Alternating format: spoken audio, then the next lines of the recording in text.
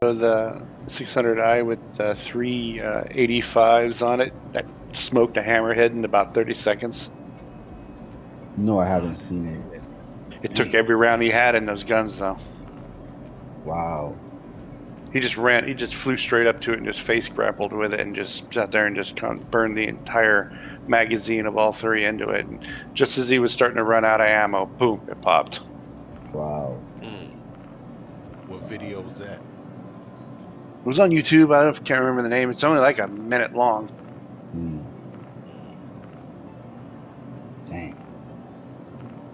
I gotta try them. The thing is, like, I've been avoiding ballistics for so long, man. I haven't like. I- It's like I forget how good they are, you know. But if they have this kind, this if they have decent ammo count, I'm definitely down to try them again. So Yeah, they definitely have to add the uh, the ammo count. They was talking about um, allowing the the ammo to be reloaded after you didn't get the ship up somewhere, and you could just reload. But that should be a thing that should be done automatically. I don't see why you have to exit out of your ship, grab an ammo box, and load the weapon. that's You how know, it was I- before. Right. It's supposed to be your automatic reload. Long as you have the ammo on, on your ship, the ship should recognize it and Yeah. reload the gun. Yeah. I don't see why they have to do all of this extra. I mean, I guess I, I get it. They're, they're they're trying to balance things out, you know. But still, they need to add more ammo to it, man. Yeah, they definitely need to add more of the ammo.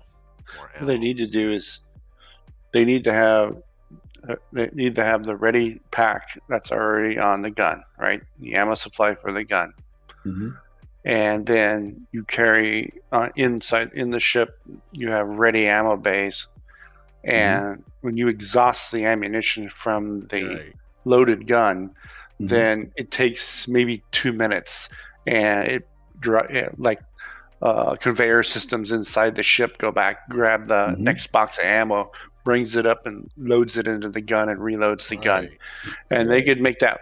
You know, uh, the idea is to to keep 'em- to cut to cut down on their ability in PvP, right? To nerf them Yeah.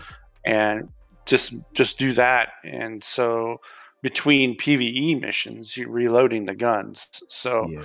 Uh, that would that would discourage pvp you know they wouldn't be so awesome in pvp because they would run out of ammo and it takes Yeah. too long to reload them in a pvp fight yeah. but uh, in pve and doing stuff like that you can just reload them between fights two fights, right?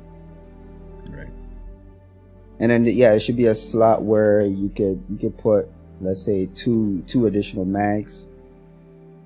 You know, this way you could constantly reload when you need it. Because Well, they we could- have they could use- like that in real life that does that.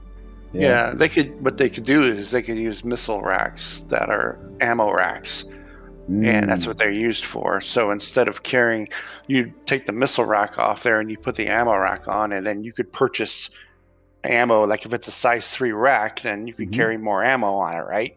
And you, you purchase boxes of maybe you know uh, 250 rounds, and a Mhm. size three could carry like four of those, while a Mhm. size one could only carry like two.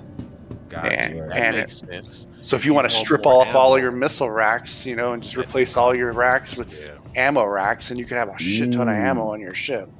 that's a good idea.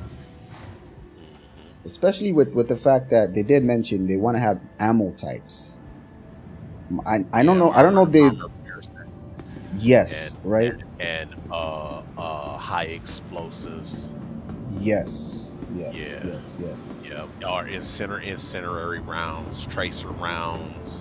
yeah Uh, you can also have ammu- different types of ammunition for tracker, where you shoot they they stick to the hull of the ship for to the tracking ASOP device. retrieval Right. system.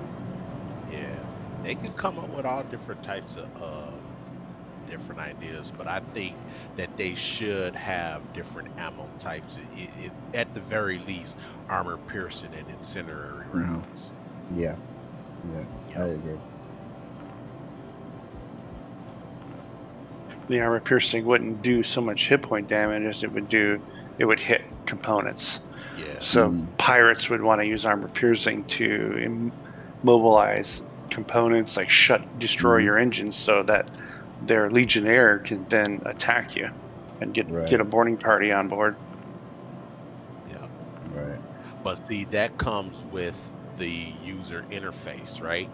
Where you could have it so where you can target those systems. Because I know in Elite Dangerous, there is a system where you can you can target the power plant, you can target the shield generator, Yeah. you can you target the various components and things Yeah. of that nature. So if they can if they can get that user interface up and Welcome running, to the you know, ASOP vehicle retrieval that, system. that'd be justifiable. Well, you wouldn't need a legionnaire then. Then you just fly up and blow the doors off the hangar bay or the cargo bay, and this then EVA over. Yeah. Didn't they talk about tho- those handheld devices that you put on the, the, the, the rocks and stuff? That they will also use those as explosives. Breaching charges. Yeah. C4. Yeah, Mhm. yeah. Did Yeah. they talk about that as well? Yeah. Yeah, that's gonna be a thing. And I think that's that's gonna be even a part of the whole boarding thing with the um there's gonna be devices inside of the Legionnaire. So you're gonna have slots for devices. So like explosive devices. If you want to breach, you have to use an explosive device, right?